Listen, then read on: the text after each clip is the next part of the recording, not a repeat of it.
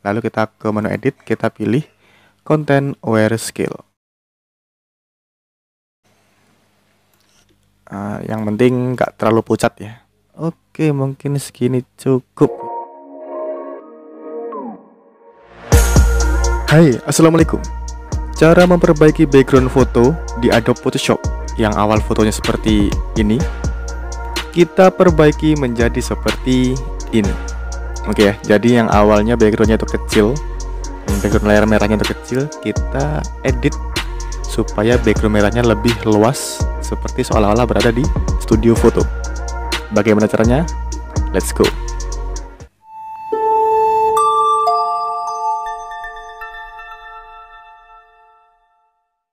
Oke, kita buka Adobe Photoshop-nya terlebih dahulu.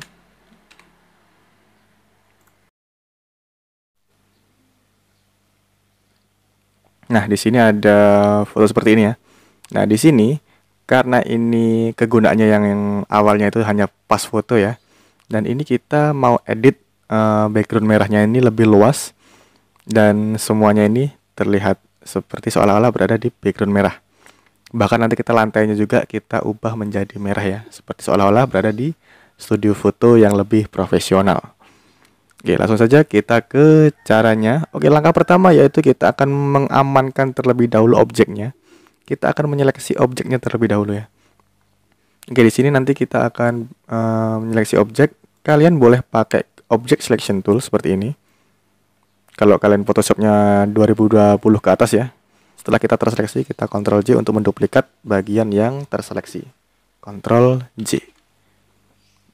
Oke, untuk mengetahui hasilnya, di bagian background ini kita matikan untuk uh, tampilannya ya.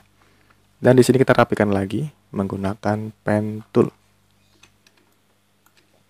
Kita potong ya. Nah, di sini usahakan pilih yang 4. Kita potong manual. Oke, seperti ini.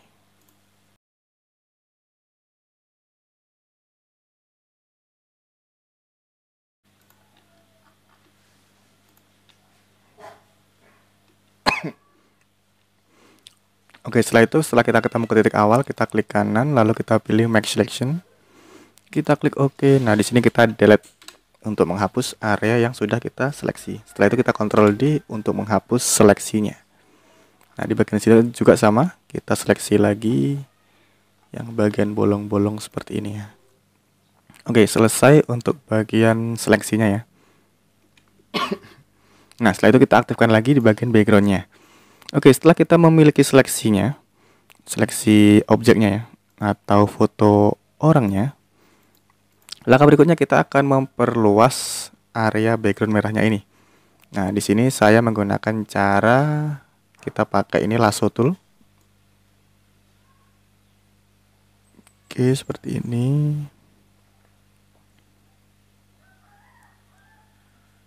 Nah, jadi tadi salah uh, untuk seleksinya kita di bagian backgroundnya. Lalu kita ke menu edit kita pilih content aware scale nah setelah itu kita perbesar area yang kita seleksi tadi. Ya seperti ini. Oke. Bisa kita geser kita perbesar lagi.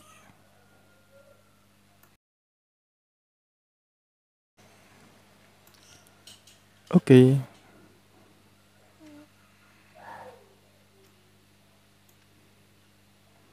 ya kita fullkan seperti ini. Oke setelah itu kita oke ya. Nah di sini uh, sudah selesai ya untuk bagian background merahnya. Dan di sini kita akan membuat uh, lantainya. Jadi ini kan dia langsung ya seperti ini ya. Nah supaya ada sedikit lekukan seperti efek lekukan di bagian lantai. Nah bagian background ini kita duplikat lagi. Kita Ctrl J. Nah, lalu di bagian background ini ada yang kita hapus ya kita hapus bagian lantainya oke kita hapus bagian ini juga sama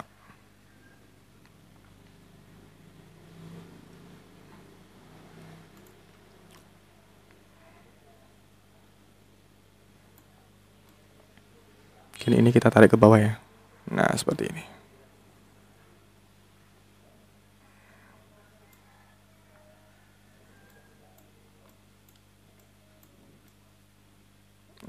Jadi seperti ada efek lantainya.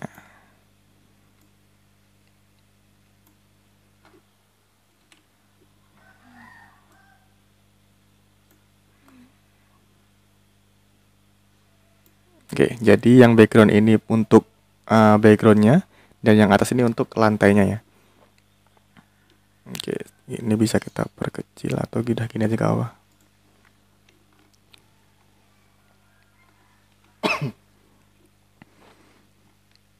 Dan di sini kita agak sedikit perhalus ya. Kita perhalus, kita hapus sedikit. Oke. Sedikit saja kita hapus bagian ujung dari uh, lantainya ini. Dan di bagian lantainya ini kita buat sedikit lebih gelap. Kita ke menu image kita ke adjustment kita ke brightness and contrast. Kita redupkan sedikit. Oke kurang lebih seperti ini ya jadi seolah-olah ada kayak efek lantainya. Oke 23 mungkin. Kita klik oke. Kita hapus sedikit lagi.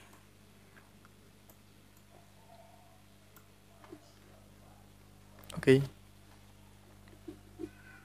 Oke selesai. Lalu kita buat efek bayangan dari uh, ini ya objeknya ya. Nah kita masih di bagian layer lantai. Kita pilih burn tool ya burn tool kalau di sini kalian dot gitu kalian klik kanan kalian boleh burn tool nah lalu kalian goreskan saja di bagian mana yang ada bayangan dari uh, objeknya seperti ini. Nah, supaya lebih realistis.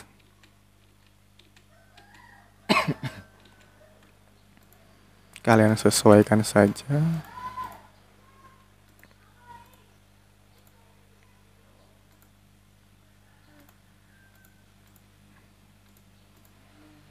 Oke, seperti itu ya.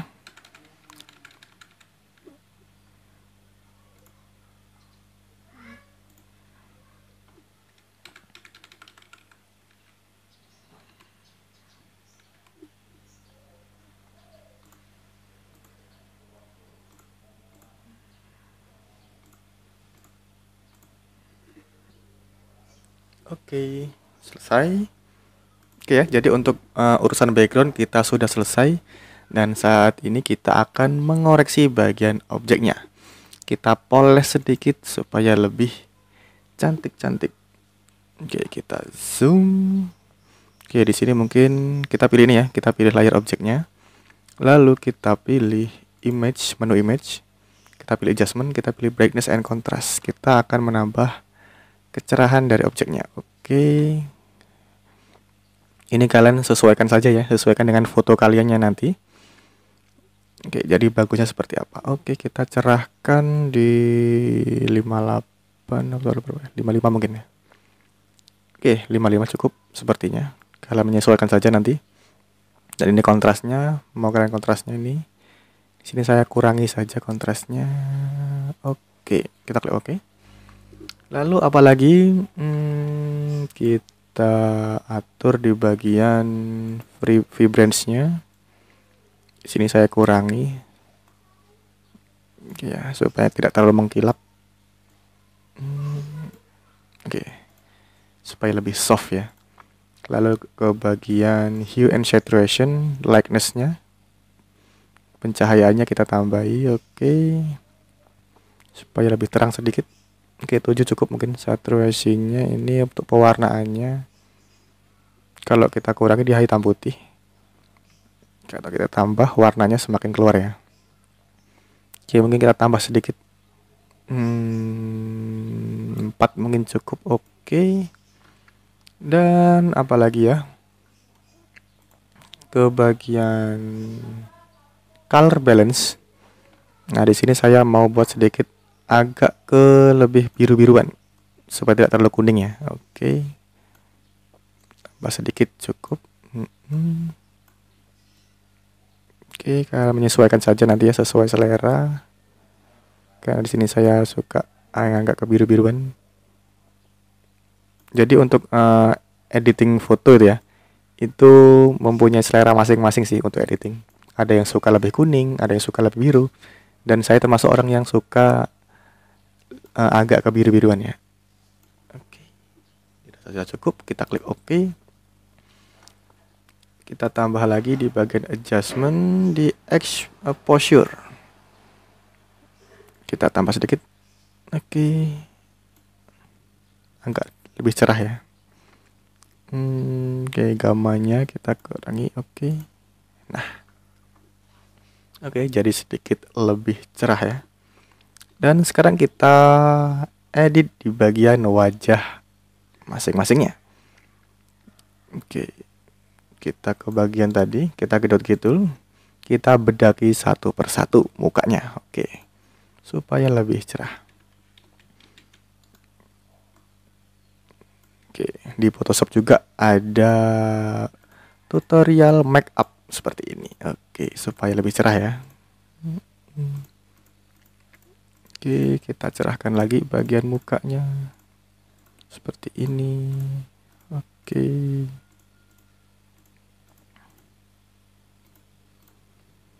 Ya, tangannya juga boleh. Kita lebih cerahkan lagi.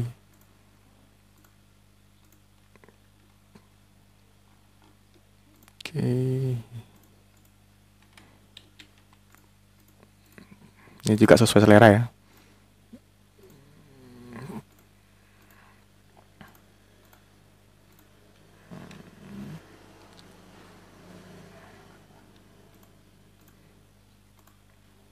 ya jadi untuk mencerahkan kita pakai dot gitu.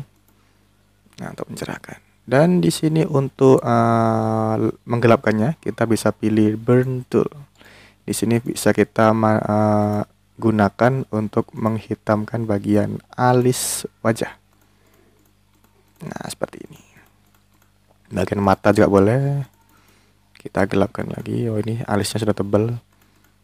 Kita ke bagian matanya saja. Oke. Dan kita ke bagian bibir supaya tidak terlalu pucat ya. Oke, kita bisa merahkan dan di sini kita masih ke bagian dot tool bentuk tadi dan di sini kita pilih spong tool. Nah, di bagian sini bagian modenya kita pilih set red untuk mencerahkan atau mengeluarkan warnanya. Kalau di set red dia mengurangi warna, kalau set red dia mengeluarkan lebih banyak warna ya. Oke, kita pilih set red. Lalu kita goreskan ke bagian bibirnya ya.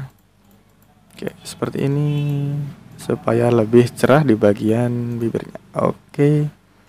Jadi fungsinya seperti lipstick atau lip tint ya. Entah apa namanya itu, saya nggak tahu alat makeup. Oke. Kita percerah lagi. Oke, jangan merah-merah. Oke, segini saja cukup. Uh, yang penting nggak terlalu pucat ya. Kalau terlalu merah nanti terlalu menor. Oke, mungkin segini cukup ya. Oke, selesai. Nah, kurang lebih seperti ini untuk mengedit foto yang awalnya seperti ini ya. Nah, yang awal seperti ini kita edit rombak menjadi seperti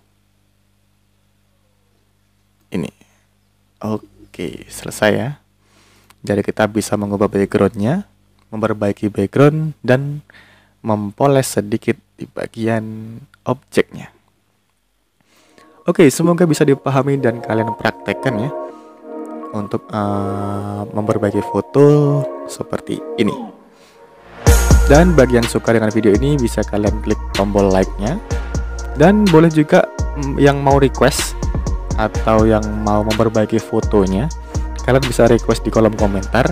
Kalian mau request cara memperbaiki foto yang bagaimana atau kalian mau memper memperbaiki foto kalian boleh kalian DM saja di Instagram saya di @agunglakson dan kalian kirim saja fotonya mana yang akan kalian ini apa perbaiki. Kalian chat saja nanti di DM nah, kalian bisa ini ya kalian bisa request untuk memperbaiki foto yang bagian mana. Contohnya seperti ini.